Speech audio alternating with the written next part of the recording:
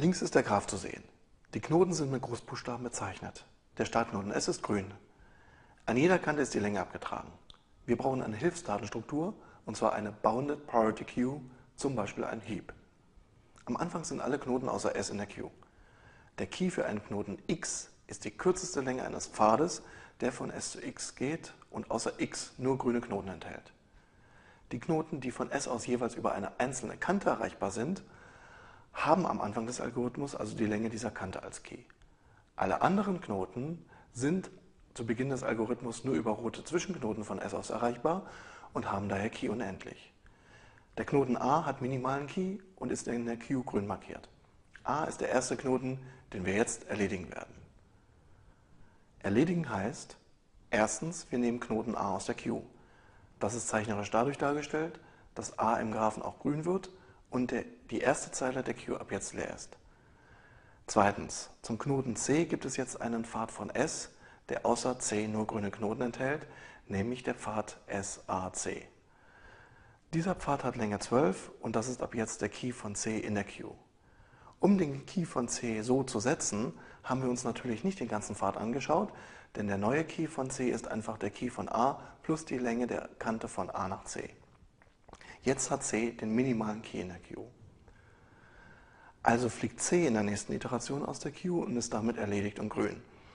Jetzt gibt es zu den Knoten E, F, G und H Pfade, die außer dem N-Knoten nur grüne Knoten enthalten, nämlich S, A und C. Die Keys dieser vier Knoten werden entsprechend mit Decrease Key reduziert. Wieder sind die neuen Keys leicht zu berechnen. Key von C plus Länge der Kante von C zum jeweiligen Knoten. Jetzt ist E der Knoten mit minimalem Key in der Queue. Beachten Sie, dass der Key von F momentan 15 ist. Jetzt ist 14 der Key von F. Was ist passiert? Nun, es gab zwar schon einen Pfad der Länge 15 von S nach F, der außer F nur grüne Knoten enthält, aber dadurch, dass E jetzt grün geworden ist, gibt es noch einen solchen Pfad von S nach F und der hat Länge 14. Das ist ab jetzt der kürzeste Pfad von S nach F mit ausschließlich grünen Zwischenknoten. Die Formel zur Berechnung eines neuen Keys ist immer, immer dieselbe und sie ist auch recht einfach. Wie wir schon festgestellt haben, brauchen wir uns nicht die Pfade in voller Länge anzuschauen, sondern es genügt, den jüngst erledigten Knoten, in diesem Fall E, alle aus diesem Knoten herauszeigenden Kanten und die Zielknoten dieser Kanten wie eben f zu betrachten. Das ist der alte Key von f, die bisher kürzeste Länge eines Pfades von S nach F über ausschließlich grüne Knoten, also 15. Die Länge des neu entstandenen Pfades von S nach F über ausschließlich grüne Knoten, also 14. Dieses Minimum kann man so lesen. Wenn der neue Pfad kürzer als der bisher kürzeste Pfad ausschließlich über grüne Knoten ist, dann ist der neue Pfad von jetzt an der kürzeste ausschließlich über grüne Knoten, sonst ist der alte kürzeste Pfad auch der neue. Diese Lesart lässt sich unmittelbar in Java übersetzen. Dies ist tatsächlich der gesamte Rumpf der Schleife und die Minimumsbildung ist hervorgehoben. Wir werden uns den Code später im Detail noch einmal genauer ansehen. Noch einmal die Situation, bei der wir eben gestoppt haben. Jetzt gibt es zwei Knoten mit minimalem Key 14. Wir haben die freie Wahl und entscheiden uns rein willkürlich für Knoten F. Und danach ist dann eben Knoten H dran. Der Key von G ist von 18 auf 15 reduziert und G ist jetzt als nächstes dran. In jeder Iteration passiert immer dasselbe. Dies ist nun der geeignete Zeitpunkt, um die Invariante zu thematisieren. Wir haben die Invariante schon oft erwähnt, aber bislang nicht explizit und systematisch. S wird schon im Preprocessing erledigt, danach wird in jeder Iteration jeweils ein Knoten erledigt. Das ist erst einmal nur eine Behauptung. Wäre schön, wenn das gilt, denn dann hätten nach Knotenzahl minus 1 Iteration alle Knoten korrekte Distanz. Diese Behauptung muss aber erst noch bewiesen werden. Dies werden wir für den Beweis brauchen, muss aber auch selbst noch bewiesen werden. Dieser Teil der Invariante ist offensichtlich. Und so geht es weiter im Algorithmus, immer nach demselben Schema. Und weiter, immer ein Knoten wird erledigt Und weiter, so langsam werden es weniger unerledigte Knoten und immer weniger, noch ein Knoten und nach 16 Iterationen sind alle 17 Knoten erledigt.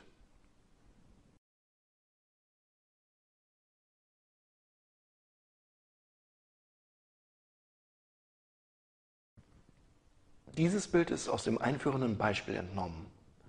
Allerdings hat Grün jetzt eine ganz andere Bedeutung. Die grünen Knoten und Kanten sind vor der 15. Iteration der kürzeste Pfad von S nach O, der ausschließlich über erledigte Zwischenknoten geht. In der 15. Iteration wird n erledigt und dadurch ergibt sich ein neuer, noch kürzerer Pfad, der völlig anders verläuft.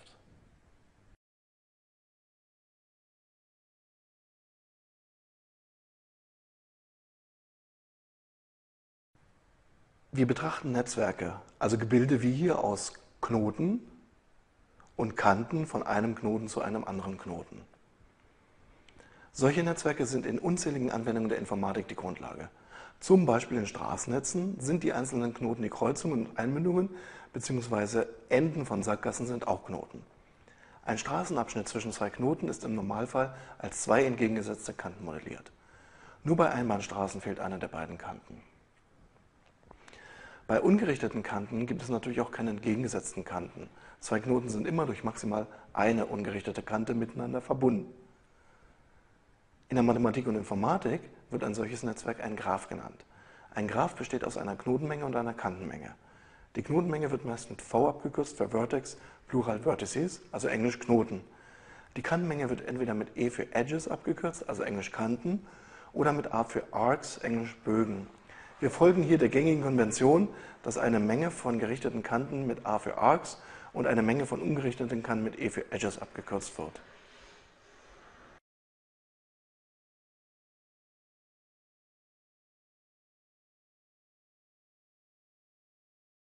Jede Kante soll ab jetzt eine reelle Zahl als Attribut haben.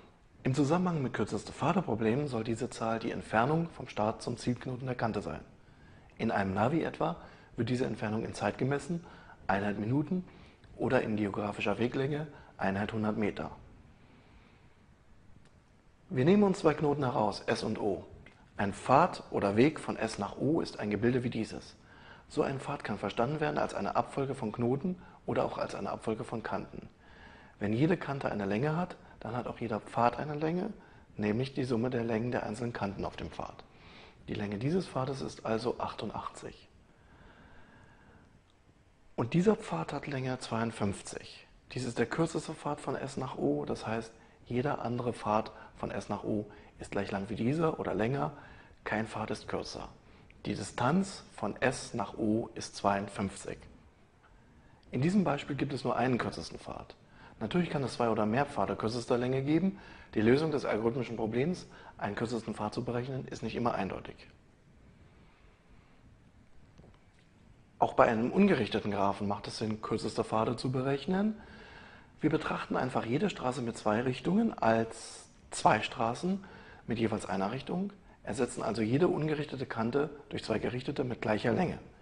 Daher betrachten wir bei kürzester Wegeproblem ohne Beschränkung der Allgemeinheit nur noch gerichtete Graphen. Kantenlängen können natürlich auch negativ sein. In diesem Fall können auch ganze Zügel negativ sein.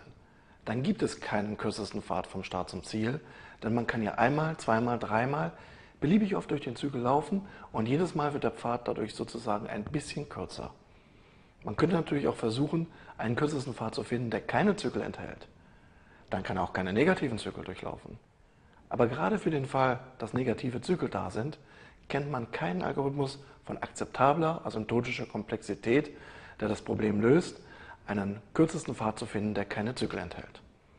Es gibt schwerwiegende mathematische Indizien, dass es einen solchen Algorithmus überhaupt nicht geben kann. Daher müssen wir uns etwas einfallen lassen bezüglich negativer Zyklen.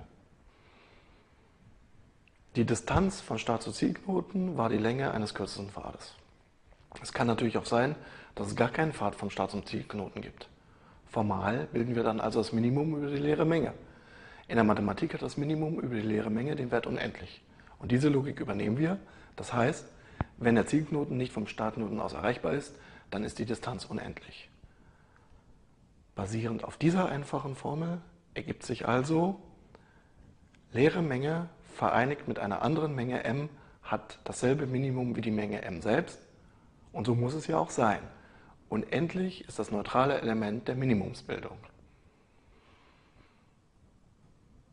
Unendlich lässt sich in Java bei reellen Zahlen direkt ausdrücken durch den formalen Wert Infinity. Ansonsten kann man sich mit einem unmöglich hohen Wert behelfen, etwa dem maximal darstellbaren Wert. Zum Beispiel die geografische Distanzen im Navi mit Granularität 100 Meter. Der maximale Wert des Datentyps int ist sicherlich ein unmöglicher hoher Wert für alle kürzesten Fahrtrouten auf der Erde.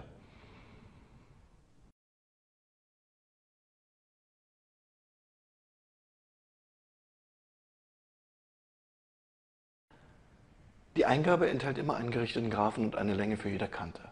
Darüber hinaus gibt es je nach Problemvariante weitere Eingaben betreffend Start- und/oder Zielknoten. Beim Single-Source, Single-Target-Problem sind Start und Ziel gegeben und wir suchen einen kürzesten Pfad von Start zu Ziel. Beim Single-Source-Problem ist nur der Startknoten gegeben und wir suchen jeweils einen kürzesten Pfad vom Startknoten zu jedem Knoten. Übrigens auch vom Startnoten zu sich selbst.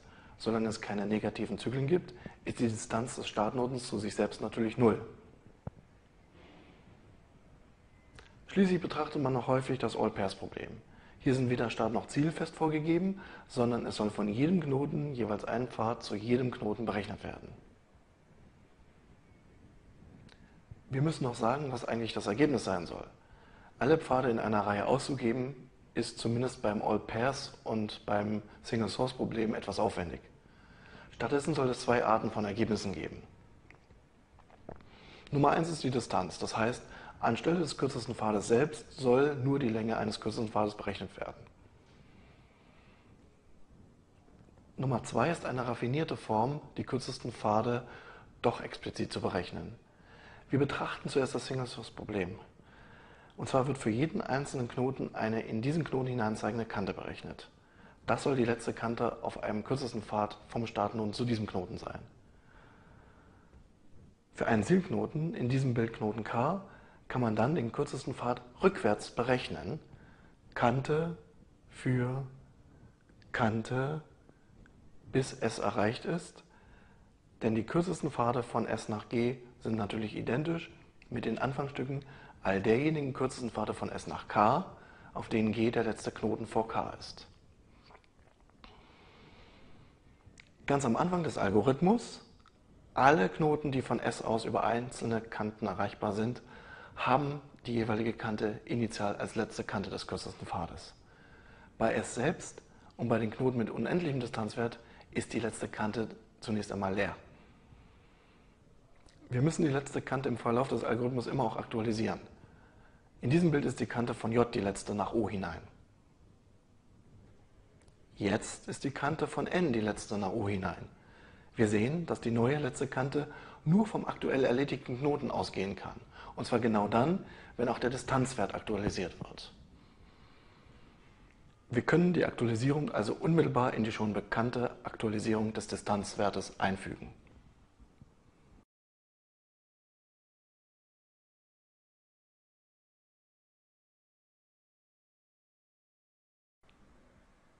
Nach null Iterationen, also vor der allerersten Iteration, müssen alle Daten initialisiert werden. Das ist der erste Teil des Codes zur Initialisierung. Erst behandeln wir alle Knoten gleich, nämlich auf unerledigt setzen und Distanzwert auf unendlich. Der Startknoten ist eine Ausnahme. Der Startknoten ist von vornherein erledigt und hat natürlich Distanz 0 von sich selbst. Das ist der zweite Teil des Codes zur Initialisierung. Jeder Zielknoten einer aus S herauszeigenden Kante hat von Anfang an einen Pfad von S zu diesem Knoten, der außer diesem Knoten selbst keine unerledigten Knoten enthält. Dieser Pfad besteht einfach aus dieser Kante. Die Länge des Pfades ist also die Länge dieser Kante. Alle unerledigten Knoten, also alle außer dem Startknoten, werden in die Queue gepackt. Die ID eines Knotens wird in einem Attribut des Knotens gespeichert. Nach der Initialisierung betrachten wir jetzt die Schleife selbst, zum Beispiel hier die vierte Iteration. Als erstes wird der nächste Knoten aus der Q extrahiert und wird von jetzt an als erledigt betrachtet. Wir betrachten alle aus diesem Knoten herauszeigenden Kanten. Was wir damit machen, passt aber nicht mehr auf diese Folie, also weitere Folie. Hier ist zu sehen, was alles mit den herauszeigenden Kanten zu tun ist. Genauer gesagt interessieren wir uns für den Zielknoten jeder Kante. Und auch nur dann, wenn er unerledigt ist. Wir prüfen, ob das Distanzattribut sich durch Erledigung des letzten Knotens verbessern lässt. Falls ja, aktualisieren wir das Distanzattribut entsprechend und müssen natürlich auch den Key des Knotens in der Queue aktualisieren.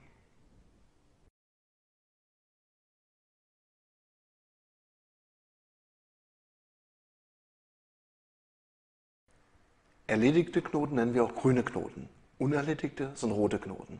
Zur sprachlichen Vereinfachung reden wir von grünen Pfaden. Ein grüner Pfad ist ein Pfad vom Startknoten zu irgendeinem Knoten x, der außer x nur grüne Knoten enthält. x selbst kann grün oder rot sein. Wir haben die Invariante schon gesehen. In jeder Iteration wird genau ein Knoten erledigt. S ist von Anfang an erledigt. Die erledigten Knoten haben den realen Distanzwert, den sie am Ende auch haben sollen. Die unerledigten Knoten haben als Distanzwert die Länge eines kürzesten grünen Pfades. Und die unerledigten Knoten bilden die Q mit ihren Distanzwerten als Keys. Wir müssen nur zeigen, dass die Invariante mit allen ihren Teilen vor der ersten Iteration gilt und dann in jeder Iteration durchgehalten wird, denn dann folgt aus diesen beiden Teilen der Invariante sofort, dass alle Distanzwerte nach Anzahl Knoten minus 1 vielen Iterationen korrekt sind. Das Preprocessing haben wir gerade so gestaltet, dass die Invariante vor der ersten Iteration tatsächlich gilt. S ist erledigt, alle anderen Knoten sind in der Q. Grüne Pfade können nur aus S plus Zielknoten bestehen, also aus einer einzelnen Kante. Also hat jeder von S direkt erreichbare Knoten die Kantenlänge als Distanzwert, alle anderen haben Distanzwert unendlich. Jetzt der Induktionsschritt. Wir betrachten die vierte Iteration aus dem Eingangsbeispiel, also den Schritt von 3 auf 4. Induktionsvoraussetzung ist, dass alle Teile der Invariante unmittelbar vor der Iteration gelten und wir haben zu zeigen, dass sie dann auch unmittelbar nach der Iteration gelten. Gezeigt ist hier die Situation unmittelbar vor der vierten Iteration. Als nächstes ist Knoten f dran, weil f einer der beiden Knoten mit geringstem Key in der Queue ist und wir haben dann freie Wahl und haben zufällig f gewählt. Jetzt die Situation nach der vierten Iteration. Was erst einmal ganz leicht festzustellen ist, f verlässt die Q und damit ist ein weiterer Knoten erledigt. Diese beiden Teile der Invariante werden also offensichtlich durchgehalten. Wir betrachten als nächstes diesen Teil der Invariante. Dazu wieder die Situation unmittelbar vor der vierten Iteration. Beachten Sie den Knoten b. Der hat Distanzwert 20 weil jeder Pfad von S nach B außer dem direkten über Kante SB unerledigte Zwischenknoten enthält und diese Kante hat eben Länge 20. Jetzt wieder das Bild nach der vierten Iteration. Dadurch, dass f grün geworden ist, gibt es jetzt einen weiteren grünen Pfad nach B, nämlich mit letztem Knoten f. Dieser Pfad hat Gesamtlänge 16, das ist kleiner als 20. Diesen neuen Pfad von S über A, C und E nach F brauchten wir uns dafür gar nicht anzusehen. Die Länge 16 bekommen wir einfach aus dem Distanzwert 14 von f plus Länge 2 der Kante von f nach b.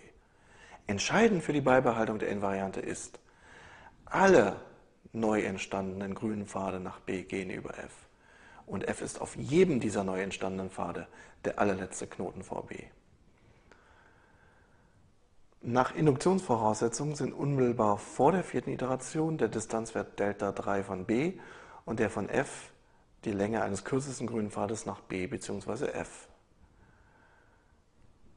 Die Formel für die Aktualisierung von b innerhalb der dritten Iteration liest sich also wie folgt. Das neue Delta von b ist entweder die Länge eines kürzesten Pfades nur mit Zwischenknoten aus a, c und e oder es ist die Länge eines kürzesten Pfades nach b mit letztem Knoten f und ansonsten nur Zwischenknoten aus a, c und e. Das sind genau die beiden Arten von grünen Pfaden nach b, die es nach der vierten Iteration geben kann. Damit ist die Beibehaltung dieses Teils der Invariante gezeigt. Es fehlt noch der Kernteil der Invariante, aus dem ja wie gesagt, Korrektheit folgen soll. Wir lösen uns vom Beispiel und betrachten die Sache auf etwas abstrakterer Ebene. Sei v der Knoten, der gerade erledigt wird. Hier angedeutet ist der kürzeste grüne Pfad nach v. Wir haben zu zeigen, dass kein nicht grüner Pfad kürzer ist. Wir nehmen uns also einen nicht grünen Pfad her. Dann gibt es einen ersten roten Knoten auf diesem Pfad, wir nennen ihn W. Und hier geht der Pfad irgendwie bis V weiter. Die rot-grüne Farbe dieser Knoten deutet an, dass jeder dieser Knoten entweder rot oder grün sein kann. Der entscheidende Punkt ist, da V minimalen Key in der Q hat, ist der grüne Pfad zu W mindestens so lang wie der grüne Pfad zu V. Und da es keine negativen Kanten gibt, hat der Pfad von W nach V nicht negative Länge.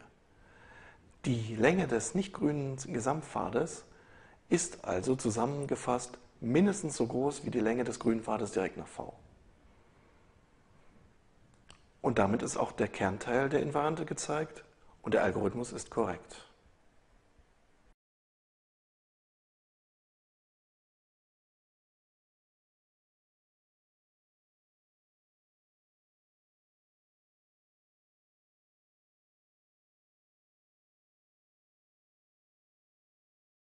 Damit die Invariante von Anfang an erfüllt ist, erhält das Distanzattribut des Startknotens in der Initialisierung den Wert 0. Jeder Knoten, der mit einer einzelnen Kante vom Startknoten aus erreichbar ist, bekommt die Länge dieser Kante als Distanzattributwert. Alle anderen Keys bekommen initialen Wert unendlich. In die Queue kommen initial alle Knoten außer dem Startknoten, jeweils mit dem Wert des Distanzattributs als Key. Der Teil der Invariante, dass die Queue genau die unerledigten Knoten mit ihren aktuellen Distanzattributwerten enthält, wird offensichtlich durchgehalten. Wir definieren hier gerade, dass ein Knoten in der Iteration erledigt wird, in der er aus der Queue entfernt wird. Zu zeigen ist, in dem Moment, wenn wir einen Knoten x aus der Queue nehmen, dann ist sein Key seine korrekte Distanz von S aus. Gemäß Induktionsvoraussetzung ist dieser Key die Länge eines kürzesten grünen Pfades nach x. Wir müssen also nur für einen beliebigen nicht grünen Pfad nach x zeigen, dass er nicht kürzer ist. Sei y der erste unerledigte Knoten auf diesem Pfad, also y ungleich x, dann ist auch y in diesem Moment in der Q, also der Key von y nicht kleiner als der Key von x. Da es keine negativen Kanten gibt, hat der Restpfad von y nach x nicht negative Länge. Insgesamt ist dieser Pfad also nicht kürzer als der kürzeste grüne Pfad von S nach X.